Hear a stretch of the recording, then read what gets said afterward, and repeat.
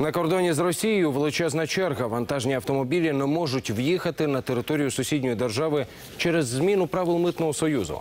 На пунктах пропуску в Донецькій та Луганській областях зібралось по півтори сотні вантажівок. І щогодини до кордону продовжують під'їжджати машини.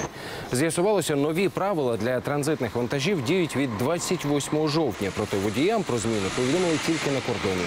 Окрім українських фур, стоять машини з Польщі та Молдови.